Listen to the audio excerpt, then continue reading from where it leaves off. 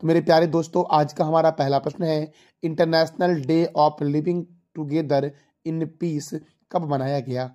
International day of living together in peace कब मनाया गया है? तो 16 मई को मनाया गया। कब मनाया गया international day of living together in peace दोस्तों? तो 16 मई को मनाया गया। अब मई महीने में कौन कौन से महत्वपूर्ण दिवस मनाए गए हैं? तो अंतर्राष्ट्रीय मजदूर दिवस, एक मई। विश्व टूना दोस्तों टूना दो अक्षर का दो मई। विश्व प्रेस स्वतंत्रता दिवस दोस्तों, तीन मई को मनाया गया है। विश्व प्रेस स्वतंत्रता दिवस कब मनाया गया दोस्तों? तो तीन मई को याद रखना दोस्तों, प्रेस की आज़ादी आज़ादी तीन मई को दोस्तों, याद रखना। अंतर्राष्ट्रीय अग्निशमन दिवस, अंतर्राष्ट्रीय अग्निशमन दिवस चार मई को मनाया गया है। अंतर्राष्ट्रीय अग्निशमन दिवस कब मनाया गया? तो चार मई को मनाया गया। कोयला खनिक दिवस कब मनाया गया? तो कोयला खनिक भी दोस्तों चार मई को ही मनाया गया है। दोस्तों, याद रखना अंतर्राष्ट्रीय नो, अंतर्राष्ट्रीय नौ नौ को उल्टा कर देना छ हो जाएगा दोस्तों। अंतर्राष्ट्रीय नो डाइट दिवस छह मई को मनाया गया है, याद रखना। विश्व अस्थमा दोस्तों, अस्थमा, सौ, सात। विश्व अस्थमा दिवस सात मई को मनाया गया है। विश्व एथलेटिक्स दिवस, दोस्तों, ये भी सात मई को मनाया गया है। तो अस्थमा और एथलेटिक्स कब मनाया गया? सात मई को मनाया गया है। मेरे दोस्तों, विश्व थैलीसीमिया विश्व थैलीसीमिया आठ मई को मनाया गया, दोस्तों। थैलीसीमिया, दोस्तों, कब मनाया गया? आठ मई को। विश्व रेड क्रॉस दिवस, दोस्तों, कब मनाया गया? तो ये भी आठ मई को मनाया गया है। विश्व प्रवासी पक्षी दिवस 2024 11 मई और 12 अक्टूबर को मनाया गया है। अंतर्राष्ट्रीय नर्स दिवस दोस्तों 12 मई को मनाया गया है। अंतर्राष्ट्रीय नर्स दिवस कब मनाया गया? 12 मई को और अंतर्राष्ट्रीय परिवार दोस्तों, अंतर्राष्ट्रीय परिवार दिवस कब मनाया गया? तो 15 मई को मनाया गया है अंतर्राष्ट्रीय परिवार दिवस, याद रखना मेरे लाल एवं लालियो। मेरे प्यारे दोस्तों, हमारा अगला प्रश्न है, हाल ही में सुनील छेत्री ने अंतर्राष्ट्रीय फुटबॉल से संन्यास लेने की घोषणा की है। हाल ही में सुनील छेत्री, जो फुटबॉलर है, वो अंतर्राष्ट्रीय फुटबॉल से संन्यास लेने की घोषणा की है। इनका जन्म किस राज्य में हुआ था या यह किस राज्य के हैं? तो आंध्र प्रदेश के हैं। और आंध्र प्रदेश भाषा के आधार पर गठित होने वाला देश का पहला राज्य है, याद रखना। मेरे प्यारे लाल एवं लालियो, आंध्र प्रदेश के दो नेशनल पार्क आप बताओ कमेंट बॉक्स में। दोस्तों, आपको स्क्रीन पर दोस्तों, आपके राइट साइड में दिख रहा होगा। कुछ दोस्तों खेल है और देश हैं। यानी कि दोस्तों यूएसए अमेरिका का राष्ट्रीय खेल बेसबॉल है। स्पेन का राष्ट्रीय खेल सांड युद्ध है। कनाडा का राष्ट्रीय खेल आइस हॉकी है। भारत का हॉकी है। कनाडा दोस्तों आइस हॉकी भारत हॉकी रूस का है फुटबॉल और शतरंज। रूस सौ से शतरंज। शतरंज और फुटबॉल रूस का है। स्कॉटलैंड का दोस्तों रग्बी फुटबॉल है। भूटान का है तिरंदाजी। चीन का है टेबल टेनिस फ्रांस का है फुटबॉल दोस्तों। रूस का भी फुटबॉल है और स्कॉटलैंड का रग्बी फुटबॉल है। नेपाल का है वॉलीबॉल, दोस्तों। नेपाल का राष्ट्रीय खेल क्या है? वॉलीबॉल। अमेरिका का क्या है? बेसबॉल। स्पेन का क्या है? साठ युद्ध। तो आप बताओ दोस्तों कमेंट बॉक्स में कि कनाडा का राष्ट्रीय खेल क्या है? इसका जवाब देना है कमेंट बॉक्स में आपको, दोस्तों। मेरे प्यारे लाल एवं लालियो, देखो दोस्तों अब जानेंगे हम हॉकी के बारे में। तो हॉकी दोस्तों, विवेकानंद युवा भारतीय स्टेडियम जो दोस्तों आपका है, ये कहाँ पर दोस्तों है? तो ये है कोलकाता में दोस्तों। विवेकानंद युवा भारतीय स्टेडियम दोस्तों, ये फुटबॉल के संदर्भ में स्टेडियम दोस्तों है। और ये कहाँ पर है? विवेकानंद युवा भारतीय स्टेडियम तो कोलकाता में है। बेम्बले स्टेडियम कहाँ है? लंदन में है बेम्बले स्टेडियम दोस्तों। ब्रुकलैंड स्टेडियम कहाँ है? तो ये भी लंदन में है, ब्रुकलैंड स्टेडियम दोस्तों। ब्रुकलैंड स्टेडियम कहाँ है? तो लंदन में है। मेरे प्यारे दोस्तों, देखो, अंबेडकर स्टेडियम कहाँ है? दिल्ली में है अंबेडकर स्टेडियम। दोस्तों, फुटबॉल के संदर्भ में प्रमुख शब्दावली हैं, जैसे कि आपका हो जाएगा फुल बैक। कौन सा दोस्तों? तो याद रखना, फुल बैक का संबंध किस शब्दावली से है? तो फुटबॉल से है फुल बैक, दोस्तों। फुल बैक हो जाएगा, दोस्तों। याद रखना, हाफ़ बैक हो जाएगा। स्ट्राइकर हो जाएगा, दोस्तों। क्या हो जाएगा? स्ट्राइकर हो जाएगा। सेंटर हो जाएगा, पेनल्टी किक हो जाएगा, फ्री किक का टाइप हो गया free kick. Referee tie breaker, referee tie breaker दोस्तों, इस शब्दावली का संबंध किस खेल से है? तो याद रखना मेरे लाल एवं लालियो, फुटबॉल से है, याद रखना मेरे दोस्तों। दोस्तों, हेट हैंड बॉल हेट हैंड बॉल का संबंध किस खेल से है? तो फुटबॉल से है दोस्तों। मेरे प्यारे लाल एवं लालियो, रोवर्स कप का संबंध किस खेल से है? Durand cup, Santosh trophy, Subroto cup, Ashutosh shield cup, B C Roy trophy, Colombo cup मडिका cup का संबंध है फुटबॉल से। ये मैंने आपको फुटबॉल के बारे में बताया है। याद रखना दोस्तों। फ्रांस और ब्राज़ील का राष्ट्रीय खेल क्या है दोस्तों? तो फुटबॉल है फ्रांस और ब्राज़ील का राष्ट्रीय खेल। मेरे प्यारे लाल एवं लालियो, हॉकी के जादूगर के नाम से जानते हैं मेजर ध्यानचंद्र को। और दोस्तों, राष्ट्रीय खेल दिवस कब मनाया जाता है? तो ये आप बताओ कमेंट बॉक्स में कि राष्ट्रीय खेल दिवस जो आपका है, ये कब मनाया जाता है? अगला प्रश्न मेरे दोस्तों है, हाल ही में किस राज्य के पूर्व राज्यपाल कमला बेनीवाल का संतानवे वर्ष की अवस्था में निधन हुआ है? तो कमला बेनीवाल दोस्तों, इनका संतानवे वर्ष की अवस्था में निधन हुआ है और यह गुजरात के पूर्व राज्यपाल थे। लेकिन दोस्तों, यह राजस्थान के थे। किस राज्य में इनका जन्म हुआ था राजस्थान में और यह किस राज्य के पूर्व राज्यपाल थे गुजरात के। दोस्तों, याद रखना, जिस राज्य की दोस्तों, जिस राज्य के हम निवासी हैं, उस राज्य का राज्यपाल कोई भी व्यक्ति दोस्तों नहीं बन सकता है। दोस्तों, अब गुजरात के दोस्तों, यह पूर्व राज्यपाल थे तो गुजरात की कैपिटल क्या है? गांधीनगर। और गांधीनगर से दोस्तों, एक प्रश्न बनता है फटाक से कि गांधीनगर में प्लाज्मा अनुसंधान संस्थान है। गुजरात के गवर्नर हैं आचार्य देवव्रत। गुजरात के मुख्यमंत्री हैं भूपेंद्र भाई पटेल। यहाँ पे राज्यसभा ग्यारह है और लोकसभा छब्बीस है। काकरा पारा परियोजना ताप्ती नदी गुजरात में है और उकाई परियोजना दोस्तों ताप्ती नदी पर गुजरात में है। उकाई परियोजना दोस्तों और कमला बेनीवाल दोस्तों किस राज्य की पूर्व राज्यपाल थी? तो गुजरात की। मेरे दोस्तों, गुजरात में ही ब्लैक बक नेशनल पार्क भी है।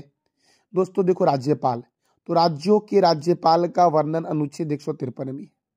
दोस्तों, राज्यों के राज्यपाल का वर्णन किस अनुच्छेद में है? तो एक सौ तिरपन में। राज्य की कार्यपालिका शक्ति राज्यपाल में निहित होती है। एक सौ चौवन के तहत कार्यपालिका शक्ति राज्य की किसमें निहित होती है? राज्यपाल में एक सौ चौवन के तहत। राज्यपाल की नियुक्ति, दोस्तों, राज्यपाल की नियुक्ति होती है अनुच्छेद पचपन के तहत। राज्यपाल का जो कार्यकाल है, वो अनुच्छेद एक सौ छप्पन में वर्णित है।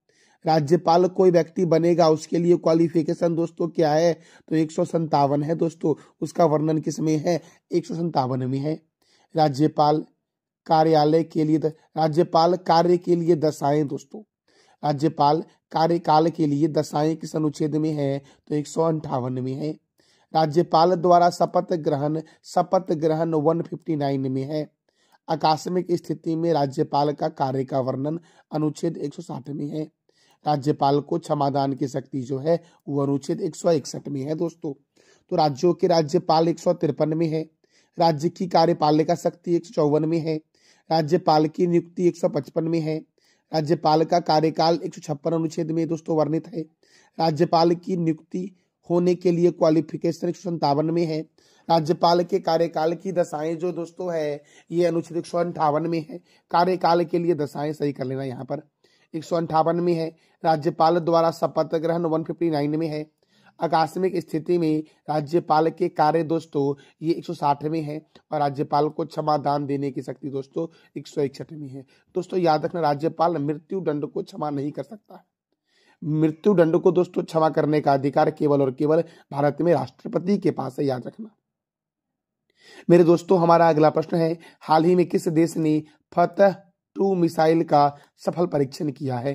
दोस्तों तो मैंने कल ही बताया था आपको क्यूबेक क्यू दोस्तों, ये प्रथम चंद्र मिशन चीन का है और चीन, दोस्तों, ये प्रथम चंद्र मिशन जो है, दोस्तों, ये पाकिस्तान का है, जो चीन की मदद से हो रहा है। तो दोस्तों, फतेह टू मिसाइल का सफल परीक्षण किसने किया है? तो पाकिस्तान ने किया है। और जब पाकिस्तान ने किया है तो पाकिस्तान की राजधानी है इस्लामाबाद। पाकिस्तान के प्रेसिडेंट है अरिफ अली जरदारी। और यहाँ के प्राइम मिनिस्टर है शहबाज शरीफ दोस्तों। मेरे दोस्तों, बांग्लादेश के प्रधानमंत्री कौन है? ये आप बताओ कमेंट बॉक्स में कि बांग्लादेश के प्रधानमंत्री कौन है। अगला प्रश्न है, हाल ही में किस राज्य की पुलिस ने केदारनाथ यात्रा के संचालन के लिए ऑपरेशन मर्यादा की शुरुआत की है? तो उत्तराखंड की पुलिस ने दोस्तों ऑपरेशन मर्यादा की शुरुआत की है। उत्तराखंड दोस्तों, दो देशों से लगा हुआ है, एक चीन से लगा हुआ है, एक नेपाल से लगा हुआ है। और अगर राज्य के बारे में बात करें तो तीन राज्य एक दोस्तों हिमाचल प्रदेश है, दूसरा हरियाणा है और तीसरा दोस्तों कौन सा है? तो उत्तर प्रदेश है, याद रखना। अब देखो दोस्तों, उत्तराखंड के राज्यपाल और मुख्यमंत्री के बारे में जानते हैं। उत्तराखंड की राजधानी है देहरादून। उत्तराखंड के गवर्नर है गुरमीत सिंह। उत्तराखंड के मुख्यमंत्री हैं पुष्पकर सिंह धामी। यहाँ पे राज्यसभा तीन है और लोकसभा पाँच है।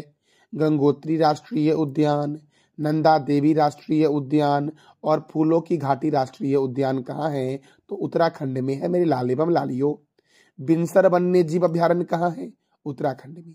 केदारनाथ वन्य जीव अभ्यारण्य, सोना नदी वन्य जीव अभ्यारण्य, गोविंद पशु बिहार वन्य जीव अभ्यारण्य, राजाजी नेशनल पार्क, टिहरी बाँध परियोजना भागीरथी नदी पर है और किस राज्य में है? मेरे लाल एवं लालियो तो उत्तराखंड में है, याद रखना।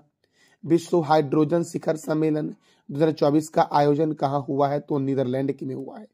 और नीदरलैंड की राजधानी क्या है? करेंसी को क्या है? ये आपको बताना है कमेंट बॉक्स में। अब देखो दोस्तों, भारत में इसमें भारत ने इसमें ग्रीन हाइड्रोजन मिशन का प्रदर्शन किया। भारत दोस्तों, इस विश्व हाइड्रोजन शिखर सम्मेलन में ग्रीन हाइड्रोजन मिशन का प्रदर्शन किया दोस्तों न्यूजीलैंड में जाकर के। अब अगला प्रश्न दोस्तों है फेडरेशन कप 2024 में पुरुषों के भाला फेंक प्रतिस्पर्धा में किसने स्वर्ण पदक जीता है? तो आप इमेज देख के ही दोस्तों समझ गए होंगे, नीरज चोपड़ा ने दोस्तों जीता है। नीरज चोपड़ा ने क्या जीता? स्वर्ण पदक जीता है। नीरज चोपड़ा स्टेडियम कहाँ है? पुणे में है। पुणे में कौन सा स्टेडियम है? नीरज चोपड़ा स्टेडियम है और नीरज चोपड़ा ने दोस्तों फिर से एक नया इतिहास कायम किया है। फेडरेशन कप 2024 में पुरुषों के भाला फेंक प्रतिस्पर्धा में दोस्तों स्वर्ण पदक जीत करके। अगला प्रश्न दोस्तों है, फेडरेशन कप में पुरुषों की 200 मीटर की दौड़ में किस धावक ने स्वर्ण पदक जीता है? तो अनिमेश कुजूर ने जीता है दोस्तों। अनिमेश कुजर ने जीता है फेडरेशन कप में पुरुषों की 200 मीटर दौड़ की धावक में स्वर्ण पदक दोस्तों। मेरे प्यारे लाल एवं लालियो, हमारा अगला प्रश्न है, अंतर्राष्ट्रीय प्रकाश दिवस कब मनाया गया है? तो अंतर्राष्ट्रीय प्रकाश दिवस 16 मई को मनाया गया है और 16 मई को ही राष्ट्रीय डेंगू दिवस भी मनाया गया है। देखो 1960 में भौतिक वैज्ञानिक थियोडोर थियोडोर मैमन ने लेजर का पहला सफल ऑपरेशन किया था। इसी कारण से 16 मई को अंतर्राष्ट्रीय प्रकाश दिवस मनाया जाता है और राष्ट्रीय डेंगू दिवस भी 16 मई को मनाया जाता है। तो मेरे प्यारे दोस्तों, आज जो हम रिवीजन करने वाले हैं, वो फरवरी महीने के महत्वपूर्ण डे को रिवीजन करने वाले हैं। तो दोस्तों, भारतीय तटरक्षक दिवस कब मनाया गया? एक फरवरी को।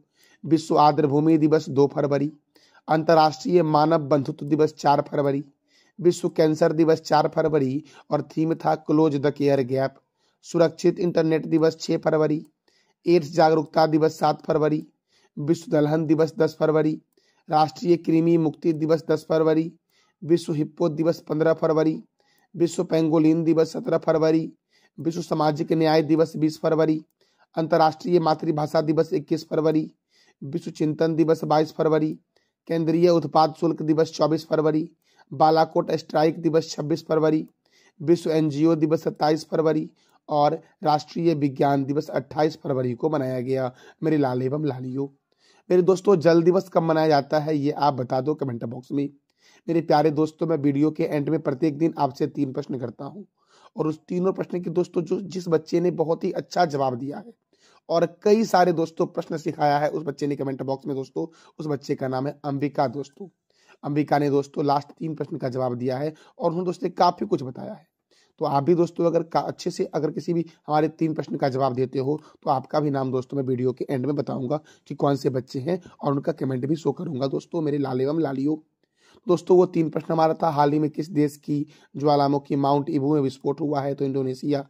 किस देश ने पाकिस्तान को हराकर सुल्तान अजलान शाह कप जीता है? तो जापान ने आदरई बेलोसोव किस देश के नए रक्षा मंत्री बने हैं? तो रूस के बने हैं। आज का हमारा तीन प्रश्न है, सोनी स्पोर्ट्स नेटवर्क के ब्रांड एम्बेसडर कौन बने हैं? सीनियर नेशनल रेसलिंग चैंपियनशिप का आयोजन कहाँ हो रहा है? और राष्ट्रीय लोक अदालत का आयोजन कहाँ किया गया है? तो इस तीनों प्रश्न का जवाब देना है कमेंट बॉक्स में आपको। मेरी लाल एवं लालियो, यह जानकारी आपको कैसी लगी? इसका फीडबैक आप अवश्य कमेंट बॉक्स में देना। और अपने दोस्तों को भी शेयर करो दोस्तों, ताकि ये जानकारी अधिक लोगों तक पहुँच सके। जानकारी अच्छी लगी तो चैनल को लाइक करें शेयर करें और सब्सक्राइब करें। थैंक यू सो मच मेरे प्यारे लाल एवं लालियो।